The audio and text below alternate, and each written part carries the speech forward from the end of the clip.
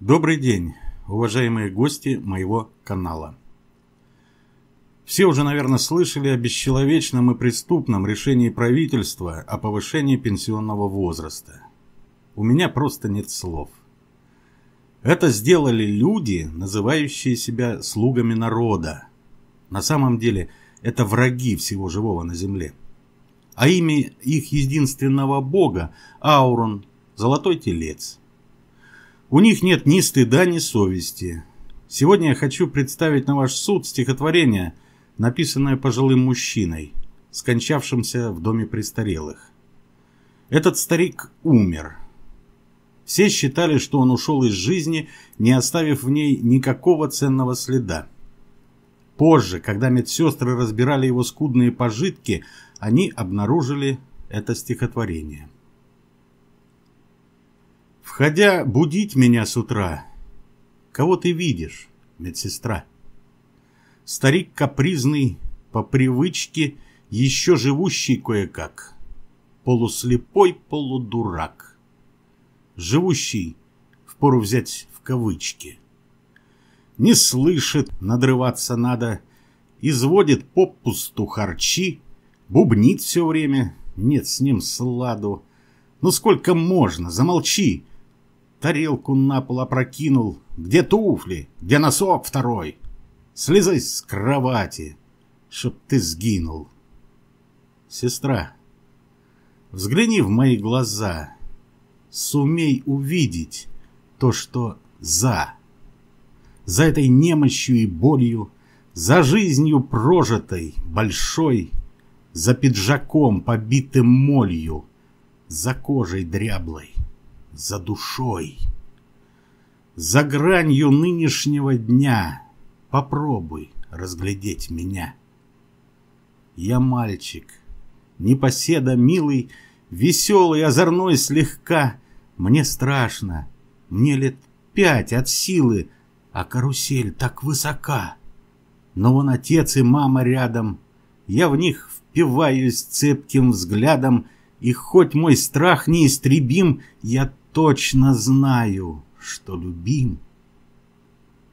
Вот мне шестнадцать. Я горю. Душою в облаках парю. Мечтаю, радуюсь, грущу. Я молод, я любовь ищу. И вот он, мой счастливый миг.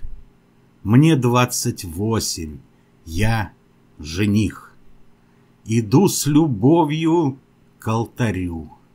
И вновь горю, горю, горю. Мне тридцать пять. Растет семья. У нас уже есть сыновья. Свой дом, хозяйство и жена. Мне дочь вот-вот родить должна. А жизнь летит. Летит вперед, мне сорок пять. Круговорот. И дети не по дням растут. Игрушки, школа, институт. Все. Упорхнули из гнезда и разлетелись кто куда. Замедлен бег небесных тел. Наш дом уютный опустел. Но мы с любимою вдвоем Ложимся вместе и встаем. Она грустить мне не дает, И жизнь опять летит вперед. Теперь уже мне шестьдесят. Вновь дети в доме голосят, Внучат веселый хоровод. Ох, как мы счастливы! Но вот померк внезапно солнце свет моей любимой больше нет. У счастья тоже есть предел. Я за неделю посидел. Осунулся, душой паник и ощутил, что я старик. Теперь живу я без затей, живу для внуков и детей. Мой мир со мной, но с каждым днем все меньше, меньше света в нем.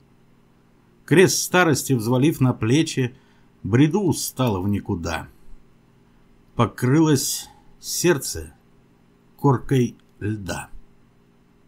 И время боль мою не, не лечит. О, Господи, как жизнь длинна, когда не радует она. Но с этим следует смириться. Ничто не вечно под луной. А ты, склонившись надо мной, открой глаза свои, сестрица. Я не старик капризный, нет. Любимый муж, отец и дед. И мальчик маленький доселе. В сиянии солнечного дня, летящий вдаль на карусели. Попробуй разглядеть меня.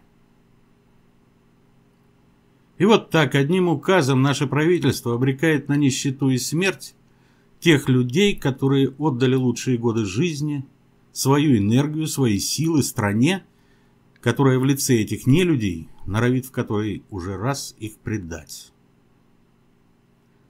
До свидания. Мир вашему дому. До встречи.